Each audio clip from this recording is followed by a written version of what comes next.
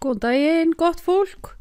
Ég ætla aðeins að fjalla um upplýsingalæsi í dag og um áraðanleika á netinu, hvernig við vitum hvort að ákveðnar upplýsingar séu í lægi eða ekki. Og þetta er sérstaklega mikilvægt þegar þið eru farin að vinna að því að sapna heimildum fyrir rítgerðir eða önnur verkefni sem þið þurfu að vinna í skólanum. En auðvitað er þetta náttúrulega mikilvægt líka bara út í hennu daglega lífi. En við byrjum þá bara á þessu, ef ég fæ að fara hérna fram með meina glæru. Upplýsingalæsi, hvað fælst í upplýsingalæsi? Það er í fyrsta lagi færni til að skoða hvort upplýsingar séu góðar eða slæmar og þetta er færni sem þarf að vera til staðar í nútíma samfélagi vegna þess að það er endalust mikið af upplýsingum. Það er dynja okkur allstaðar. Þetta er á netinu, þetta er í útdorpinu, þetta er í fjölmilum, hérna, já, sjómarpinu, net, já, netmiðlum, þetta er í postinum okkar, þetta er á samfélagsmiðlunum, þetta er allstaðar og við þurfum að vita hvaða upplýsingar eru áræðarlegar og hvar við getum fundið þessar áræðarlegu upplýsingar.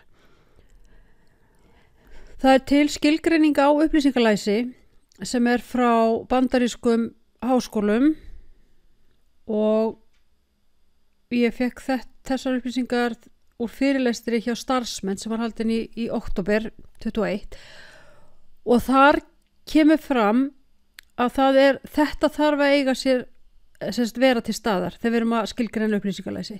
Það er ákveðin færðni sem þarf að vera til staðar. Það er að bera kennsla á það hvenar við þurfum upplýsingar, geta fundið þessar upplýsingar, geta metið áræðanleika þeirra og geta nýtt sér á skilvirkan hátt. Þetta virkar mjög létt en til dæmis ef það er verið að slá fram einhverju í í hérna einhverju, maður er í face, mörgum Facebook-grúpum og dóti og það slegi fram einhverju, maður þurfa að gera þetta eða hitt. Þá þurfum við að geta metið það hvort að við þurfum fleiri upplýsingar eða hvort við hefum að taka þetta trúalegt sem við komum aðeinslega að segja. Og framhald af því þá fyrir við náttúrulega væntalega á netið og leitum okkur upplýsinga. Og þá þurfum við að geta séð hvort að upplýsingarna sem við finnum eru góðar eða hvort að þær eru bara af svipuðum toga og þessi sem var sett fram í þessari grúpu. Geta verið fínar en geta verið bara algjör kæftæði og við þurfum að geta greint það á milli. Og það er að geta nýtt okkur á skilverkan átt þessar upplýsingar.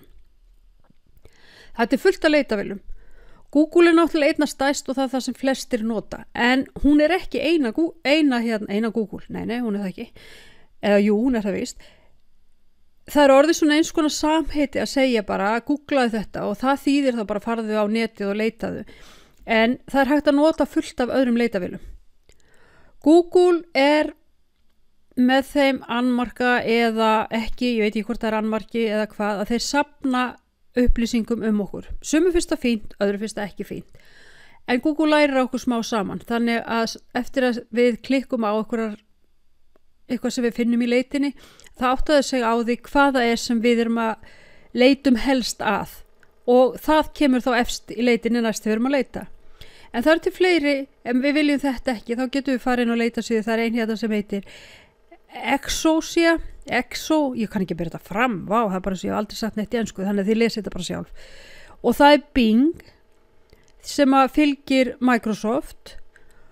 En svo getur þið nota leitarorðin og leita bara fleirum. Til dæmis að þið sláið inn bara 20 great search engines you can use instead of Google þá fáið fullt að, fullt að leita viljum Sumar þeir eru þannig að þær eru svona, ég kallar grænar. Það eru svona umhverfisvætni en aðrar og ég ætla nú ekki að fara út í það. Þið verður bara sjálfa að lesa ykkur til um hvað fælst í því. Því það, þetta er ykkar val. Það getur enginn sagt við ykkur að þessi leitarvelin eða hinn leitarvelin sé rétt. Það er hægt að leita og nota Google algjörlega íslensku og það er þegar maður er hérna inn á síðunni sjáuð hérna niðri þá stendur hérna Google offered in íslenska. Hún er núna á ennsku þannig að það koma upp upplýsingar bæði á íslensku og ennsku leið og ég smelli á þetta hérna íslenska þá breytist þetta hérna í staðist að standa I'm feeling lucky þá stendur ég var maður ekki hvort það stendur mér líði vel eða hvað. En þá er, fæ ég bara íslenskar hérna leitaniðustöður En til þess að fá þetta upp þá þurfið að vera sjáðu hérna inn á google.com. Það er ekki nóg að fá bara upp, vera bara með hérna, bara slá inn Google eins og ég með á tölvunni hjá mér, ég er bara með það þar og ég fer ekki alltaf inn á google.com heldur þetta er bara leitavilun og þar eru, er ég með ykkur flítilegir í þess að ég fer oftast Þegar ég leita að einhverju eins og til dæmis tryggingar, nú ætlum ég að fara að fá mér upplýsingar um tryggingar og ég set það inn og ég vil, var búin að steila hana þannig ég vildi fá hana á íslensku að fyrstu fjórar leitar niðurstöðuna sem koma eru auðlýsingar og það stendur hérna fyrir framann auðlýsing, auðlýsing, auðlýsing og þá er spurningin ef ég er að fá mér almennar upplýsingar um tryggingar vil ég fá þar hjá tryggingafélaginu eða vil ég fá þar frá einhverjum öðrum óháðum aðila? Í mörgum tilfellum þá er það betra en það þarf kannski ekki vera alltaf en upp á það geta treysti að ég fá hlutlusar upplýsingar að þá þarf ég kannski að vera með hérna ekki tryggingafélagin sjálf og ég ætla bara að byggja ykkur um að leita þessu eftir þegar þið eru búin að, að skoða að hlusta á fyrirlisturinn og hvernig skoða ég svo vefsíðuna? Hvernig veit ég að þetta eru trúverðugar upplýsingar sem ég er með? Það er í fyrsta lagi hver er höfundurinn eða áberðaræðilinn er einhver sem að egna sér þessa síðu?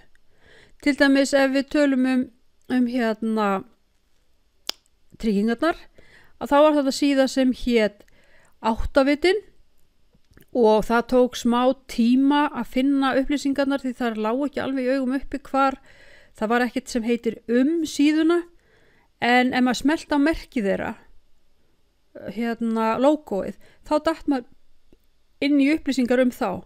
Og þá kemur fram að þetta er síða sem er haldið út af hinu húsinu og einhverja fleiri upplýsingar sem ég man ekki hverjir eru. Og þá væntalega getur við tristi því þetta er einhver ofinbyr aðili það sem sagt þetta með að skoða um vefin og það er að skoða útgáðudaginn er þetta gamlar, er þetta gömul síða eða er þetta ný síða? Til dæmis ef ég væri að leita mér að einhverju efni um vörd og ég sagja að síðan væri frá því 95 þá er það eldgamall vort sem ég er að skoða. Þannig að væntalega hefur það ekkit með það að segja hvað ég er að skoða í dag. Er vísa til heimilda? Hver er svo tilgangurinn með síðunni, hver er á bakvið? Er þetta auðlýsing Er þetta upplýsingar, er þetta fræðslusíða, er þetta kennsla? Þetta skiptir allt máli. Og svo í framhald af því að þá getum við skoðað Wikipedia. Það er rosalega mikið upplýsingum eins og við veitum og fæstir kennarar leifa að við notum Wikipedia í heimildir. Og hvers vegna er það?